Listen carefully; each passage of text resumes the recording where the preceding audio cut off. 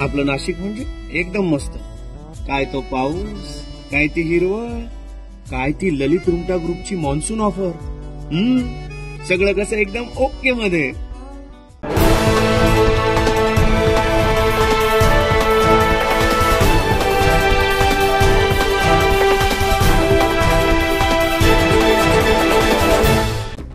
भाजपचा पिल्ल! भाजपचा पिल्ल भाजपचा पिल्लू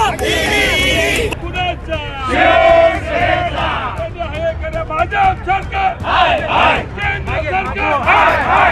शिवसेना नेते संजय राऊत यांच्यावर झालेल्या ईडी कारवाईचे पडसाद नाशकात देखील उमटल्याचं पाहायला मिळतंय.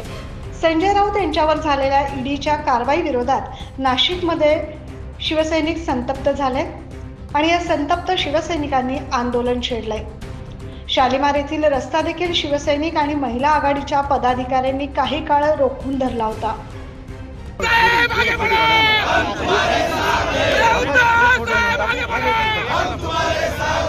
नाशिक शिवसेना कार्यालयासमोर राऊतांवर झालेल्या ईडी कारवाईच्या निषेधार्थ हे आंदोलन करण्यात आलंय.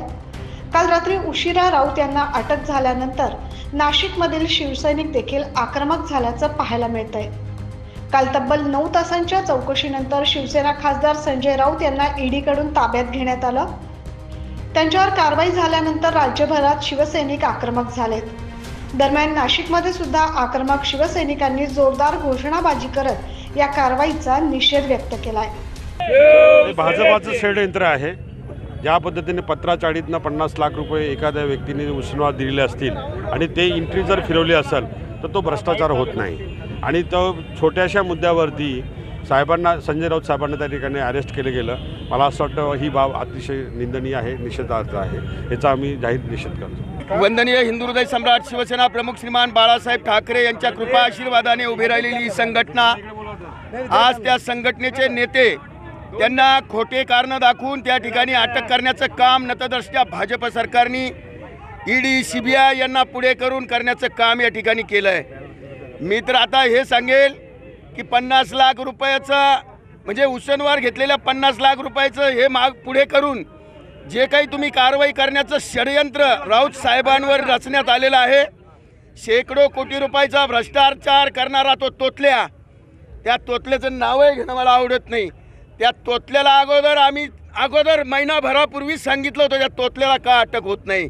भाजपवाले मोठमोठे भ्रष्टाचार काल परवा झालेला तीन हजार कोटी रुपये र- देऊन आमदार खरेदी केले वगैरे हे सगळं काही म्हणले जातं. खोके भिके काय असेल नसेल ते सगळं जनतेमध्ये सूर आहे. त्या खोकेवाल्यांकडे काय ईडी शिबाय जात नाही? माझं तर म्हणणं असं आहे की ह्या देशामध्ये जेवढे जेवढे भ्रष्टाचारी असेल तेवढ्या त्यांना पकडलंच पाहिजे. परंतु खरे भ्रष्टाचारी बाजूला ठेवून हे भाजपचे हे एजंट शिवसेनेला बदनाम करण्याचं काम या ठिकाणी करणार आहेत.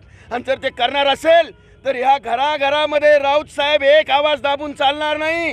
तर घराघरामध्ये राऊत साहेब तयार होतील आणि घराघरातून आवाज उठल्याशिवाय राहणार नाही आणि ह्या भाजपचं येड काढल्याशिवाय राहणार नाही. सध्या आक्रमक झालेले शिवसैनिक पुढे काय पाऊल उचलत आहे याकडे बघणं महत्वाचं ठरणार आहे. नाईन न्यूज महाराष्ट्रासाठी प्रतिनिधी प्रवीण काळबांडे नाशिक.